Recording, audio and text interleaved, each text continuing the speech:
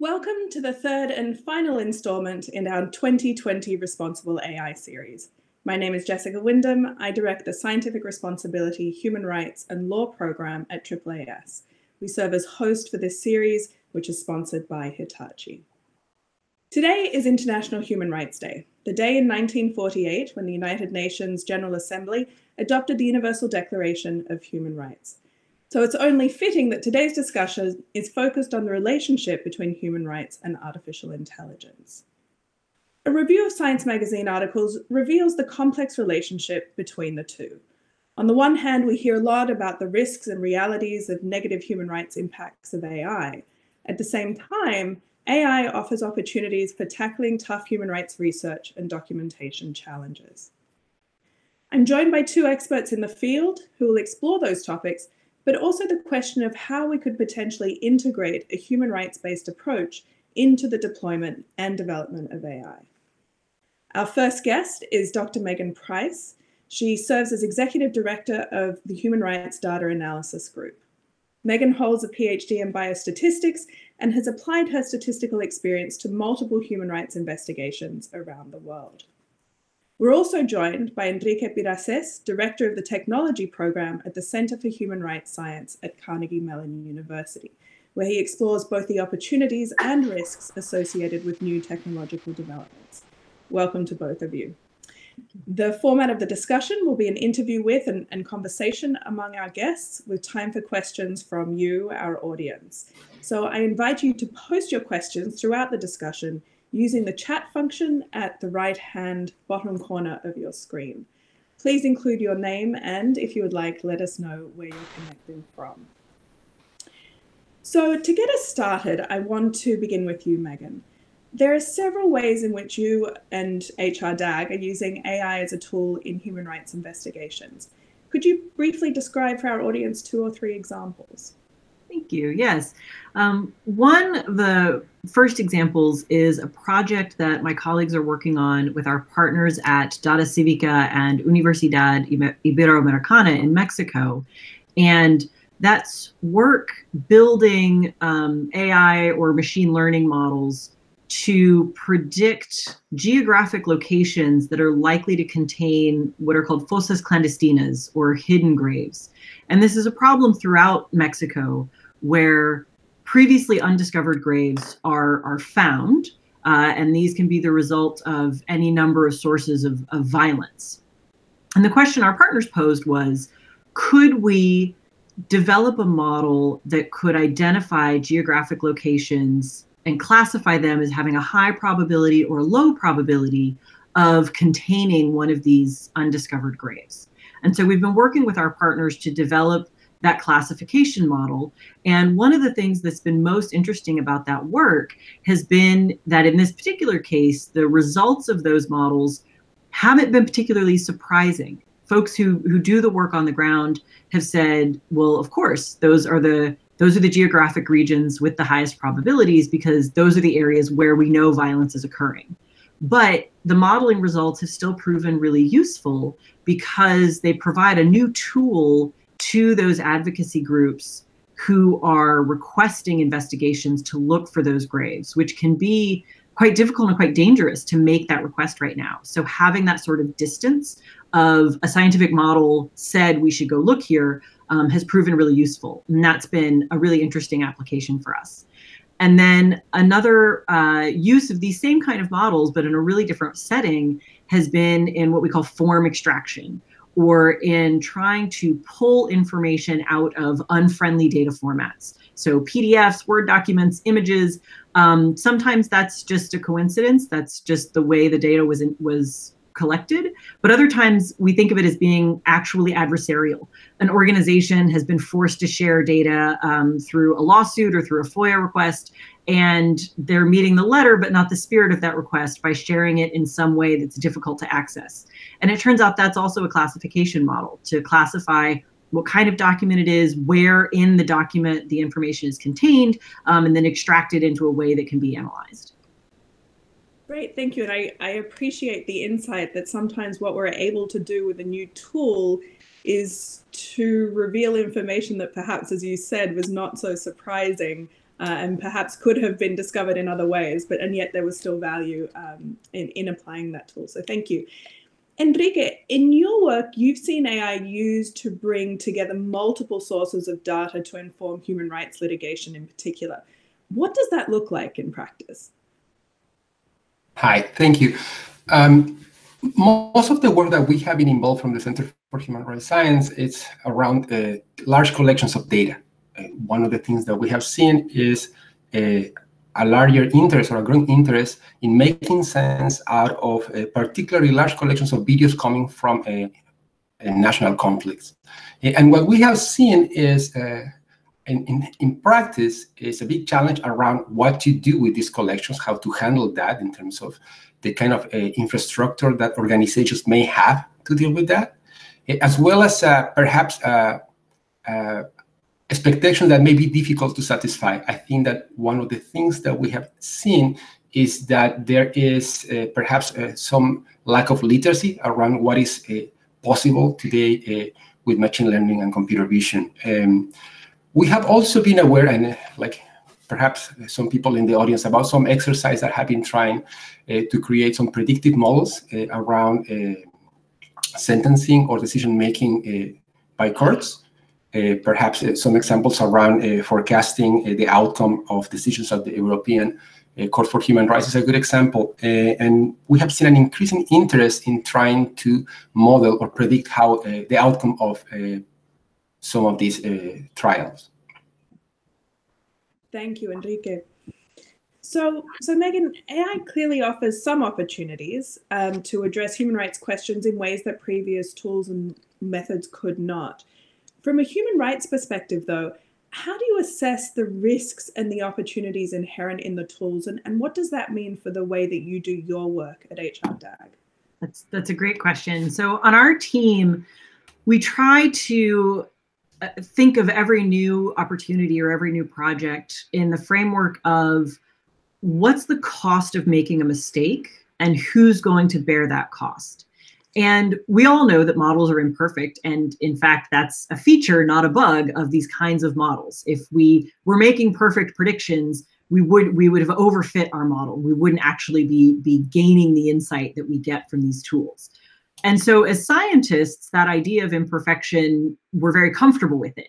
But when we think about the context where we're implementing these models, it's crucial that we ask well, when that model makes a mistake, whether we think of it as a false positive or a false negative, what is the cost of that mistake and who bears it? And so, in the example I mentioned earlier in Mexico, the way we've been thinking about that work is when the model makes uh, a mistake, when it makes perhaps a, a false positive, then what we do is we suggest allocating resources somewhere that they probably weren't needed. So, we've perhaps um, inefficiently used our resources.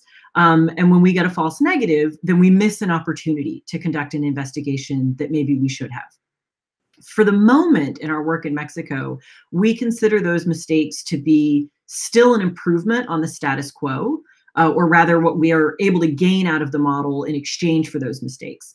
And the cost is borne um, largely by us and our partners and in the resources that we allocate. So, in that case, we've determined the advantages of the tools are well worth it. But the counterexample that we often think of is in some of the models that Enrique alluded to in criminal justice settings. So if you think about uh, so-called predictive policing or some of these models trying to trying to make recommendations um, about um, whether someone should be released pre-trial or trying to predict the outcome uh, of, of a, a judicial action, when those models make mistakes, they send police into communities that may already be over-policed they degrade that community trust in that relationship. Um, or in the case of uh, making recommendations about pretrial uh, restrictions, they may put someone in jail uh, who who should not be and who should be released. And those costs are significant, and they are borne by already marginalized or disadvantaged populations who often lack the the the power the the opportunity to push back on those decisions and those recommendations that are being made by those models and so in those examples we consider those costs to be uh, not worth it. We consider those costs to be higher than the advantage gained from any of those model applications. But that's also one of the infrastructures that we try and think about is if we were going to use these tools in those settings, are there ways that we can incentivize that setting so that perhaps the, the designer of the model or the vendor of the tool pays that cost and, and therefore it gets fed back into the system in a different way? Thank you. Yes, this is this is the question that I want to come to.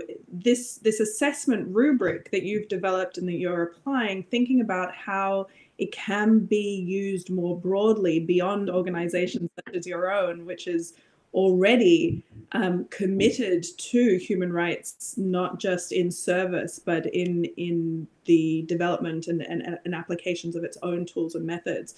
So Enrique, if AI is going to be more widely used as a tool for human rights research and, and, and documentation and investigation. And, and if it's going to be used more widely generally, which it's most certainly is, what is the supportive infrastructure needed to effectively achieve that? Thank you. Um, it's quite likely inevitable that artificial intelligence or anything that is under that umbrella will be uh, growingly used in the context of human rights practice. That is not necessarily a good thing. Uh, in many cases, uh, we have uh, organizations uh, or human rights practitioners will be forced to adopt technology as a way to avoid obsolescence. So even when inevitable, I think that there should be something in the back of our head thinking that it may not be necessary, but just a forced decision. that said, in thinking of the infrastructure that we may need for that adoption uh, to be uh, not only efficient but also meaningful. Uh, I, I, think that the easier bit is already in the technical infrastructure. many of the things that we are allowed to do today are possible because companies have been offering or have been lowering the barrier for us to access artificial intelligence, machine learning, computer vision, and the like. So um, in that sense, uh, technical infrastructure is uh, is perhaps what is the most available. What I think uh, there is a lack of is perhaps on issues that are a bit softer, uh, um, uh, on issues around literacy, infrastructure that in a way uh, will allow for uh, judges, for lawyers, uh, for mm-hmm. researchers to understand the nuances around um, artificial intelligence. In the same way, I think that we are lacking of a governance infrastructure. You know, what is that? Some of these uh, technologies uh, are doing will remain obscure uh, for a long time without, without having a, an infrastructure for explainability in, in that sense. And I think that that's, those softer needs are, are the ones that are the most challenging and in some ways the most necessary. Um, so I, I want to delve into that a little bit more. Um, I'll, I'll ask you, Megan, but then Enrique, you may have something else that you'd like to add as well on these on these softer issues beyond the technical capacity um, of of the tools of AI now and as they're being developed. Are there existing models um, that you've seen applied in practice, or or perhaps that you're seeing promoted that should be applied? For effectively embedding human rights and ethics into the AI development process? I wish I had a better answer to that question.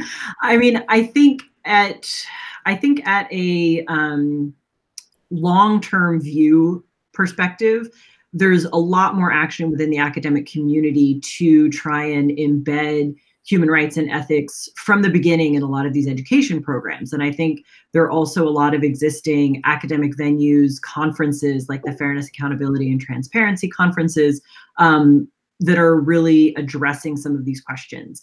But those we're not going to reap the benefits of the education and the training that those individuals are getting um, for years, uh, which is fine. That's one angle. Um, but there are um, there are implementations of these models affecting people's lives right now, every day, and so many of those are being implemented within large private tech companies. And I worry that, in fact, what we're witnessing right now is a lot of ethics washing um, and a lot of of surface value talking about ethics without perhaps doing the harder work of truly embedding and incentivizing application of a human rights and ethics lens. And because so much of this is happening within private industry, I honestly don't have a good answer or, or an idea for what that model might look like. I mean, regulation is one one tool in the toolkit that has obviously had very mixed results in in a variety of other settings. Um, and and to go back to the academic example i think one thing that academics have a tendency to reach for is some sort of a review board. And i think institutional review boards have had fairly mixed results as well too. So uh, unfortunately, I, I, don't have sort of strong positive use cases. Um, and I do also just want to vigorously agree with Enrique's point about the need for a lot of this this this the other pieces around the technology and the communication and the education piece um, that that has very much been our experience as well in working with a lot of our partners where they say really the need that they have is to to have better tools and better um, better assistance in helping people understand the impacts that these are having and the ways that they're getting used out in the real world.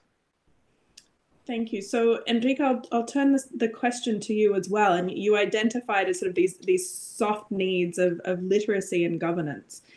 Um, are, are there existing models that you think should be expanded upon?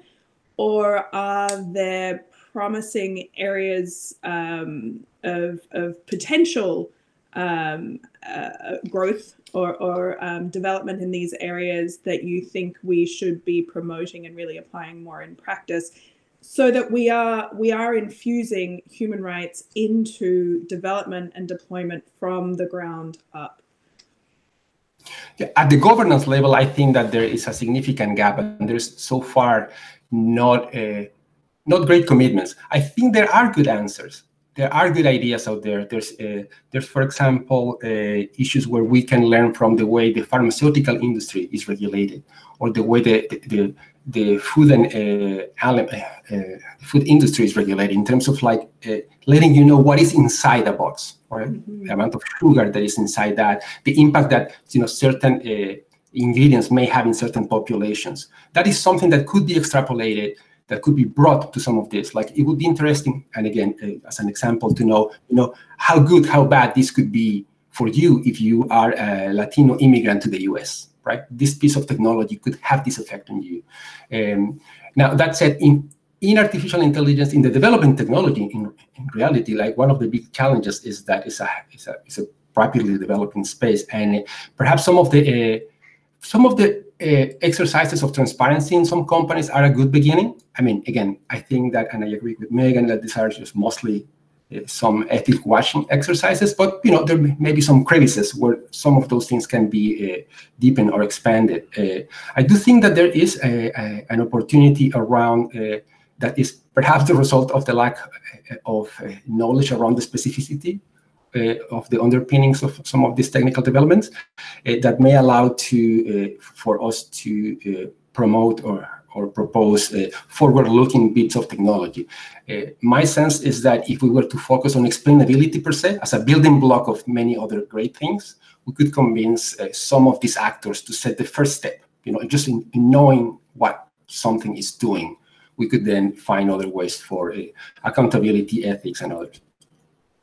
Great, thank you. So a question for both of you, pivoting now back to, to the positive applications uh, of AI for human rights. What do you both see as the new frontier in that area? What questions might be able to be answered that couldn't previously? Or, or what hurdles might we be able to overcome in human rights investigations with the use of AI tools? Um, Megan. Um, well, I'll start with uh, just some of the specific applications that my organization focuses on. And what we've really seen in the last year or so has been just a tremendous increase in what we can consider data, what we can can turn into quantifiable, analyzable data, and how we can fill in gaps uh, in in existing data. So not only leveraging AI for things like like form extraction and, and getting information out of unfriendly formats, but also leveraging those same kind of classification models to try to predict uh, missing values.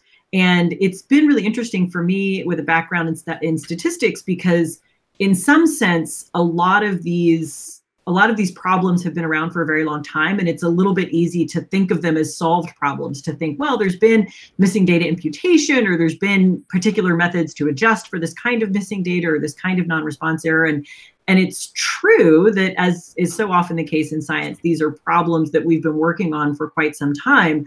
But i really feel like in the last year in our specific use cases the kind of structured data that we have and, and unstructured data we've really turned a corner in in how much of it we're able to turn into analysis ready data sets and get at a lot of questions that we've really been hesitant to use quant, uh, quantitative analysis for that we've really encouraged more qualitative work. And i think that mixed methods approach is always going to be valuable um, but there are a lot of questions around um, things like cause of death and perpetrator groups that that have, are really, really hard to document in a lot of settings. And I think we now have better tools to extract and make use of that limited amount of information that we have on some of those topics.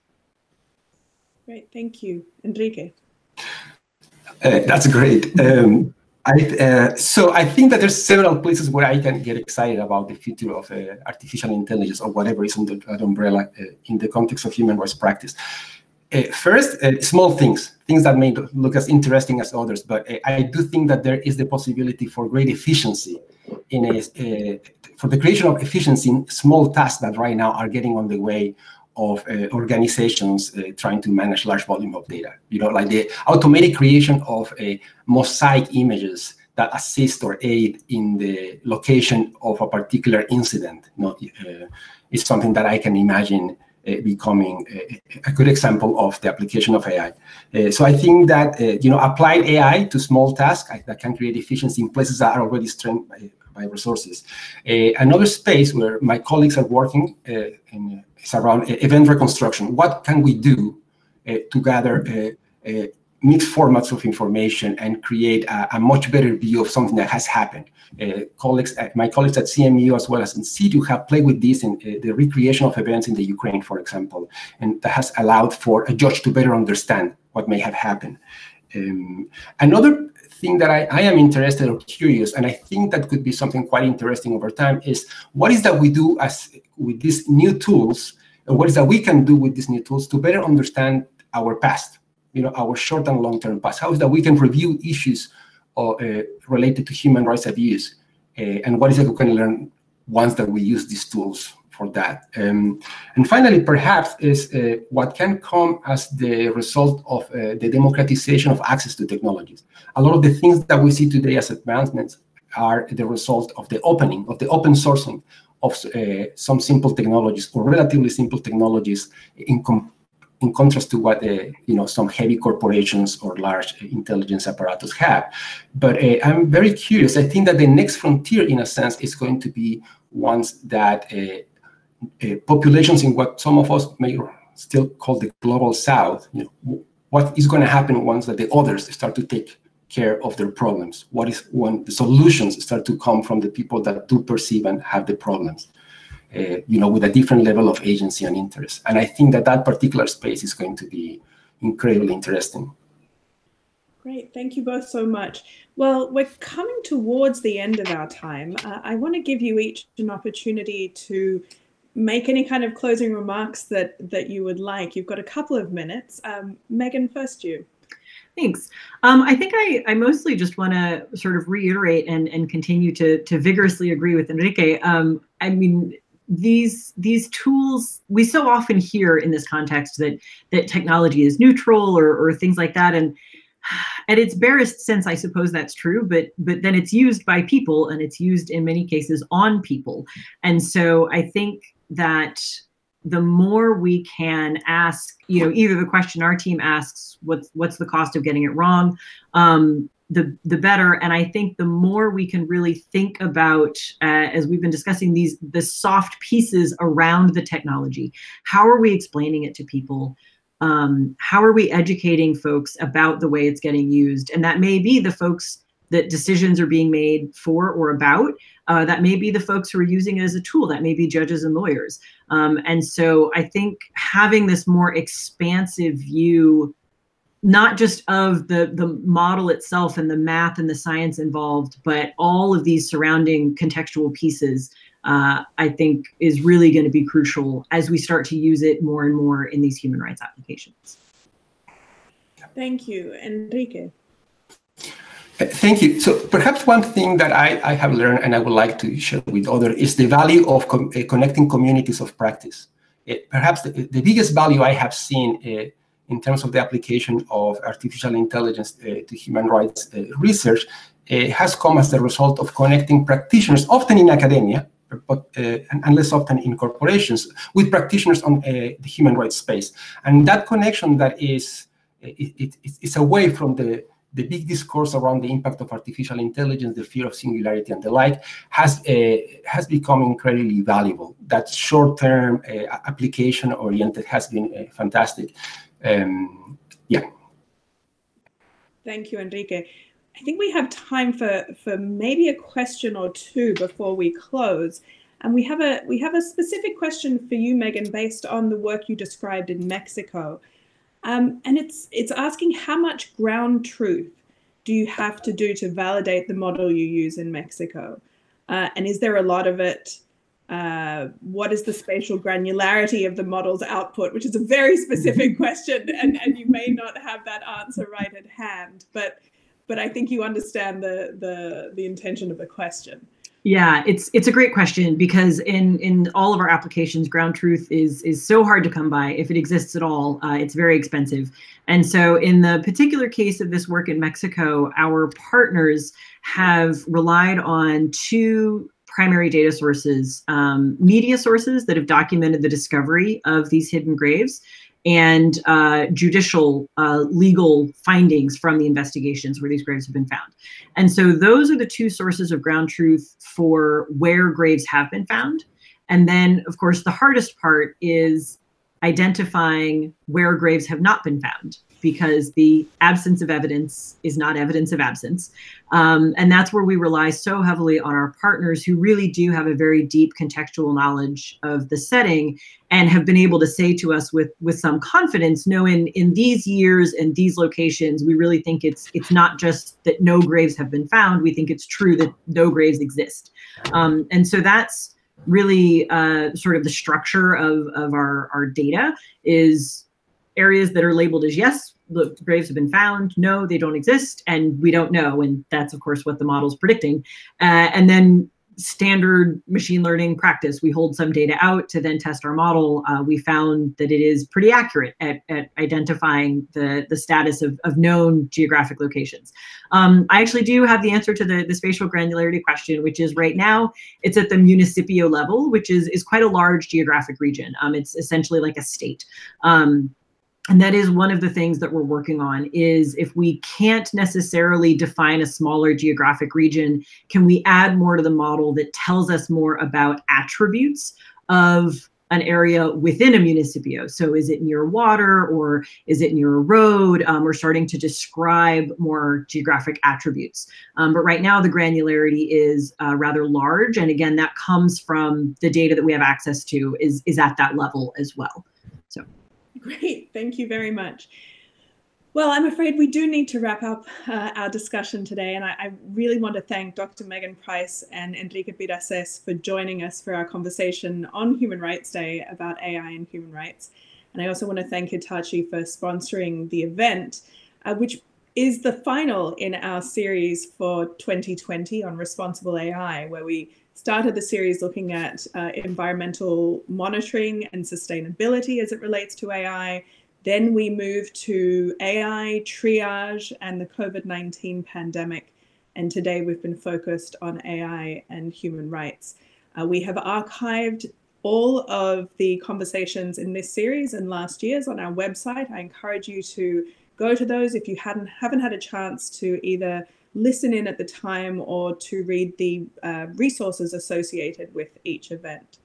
So thank you all very much. I wish you all a safe and healthy 2020, and I hope to see you next year. Thank you. Thank you so much. Thank you very much.